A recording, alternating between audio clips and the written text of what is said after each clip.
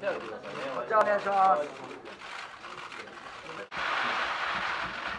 しかも満場一致でのこの受賞決定ということだったんですけれども、そちらについてはいかがでしょうか？嬉しいです。今シーズンは24勝、それから防御率1.27、まあ、202イニングを超え210イニングという投球回数、さまざ、まな先発投手として突出した数字を残していますけれども、まあ、どの数字がこう一番誇れる数字でしょうか？しっかりと、えー毎年シーズン始まる前に目標にしている、えーローテーションを1年間しっかり守るというところで、え1年間、えーレギュラーシーズン、ローテーションで回れたっていうのが、えーまあ、一番かなと。それで、その後のやはり、えーその他の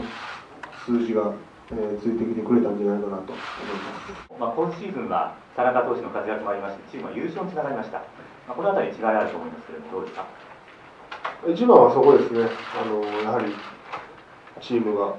えー優勝することができたっていうのは一番ですし、その中で自分も、えーしっかりとした、えー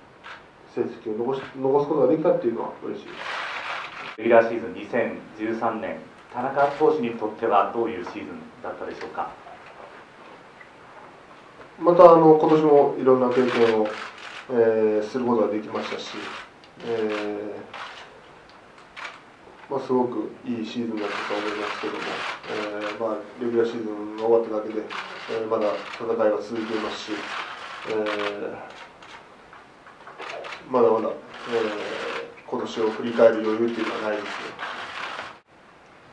そして今シーズンはまだ続いているというところで、さらなる大きな目標が先にあると思いますけれども、えーそちらに向かっての、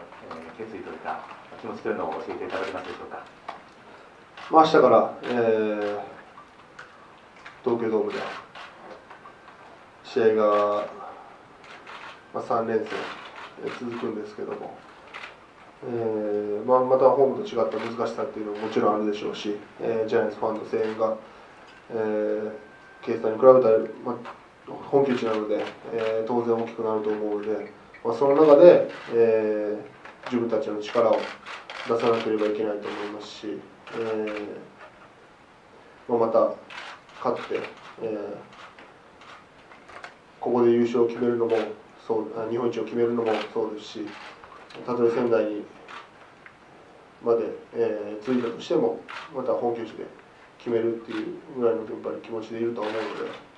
また明日からチーム一丸となって戦っていくことができればなと思います。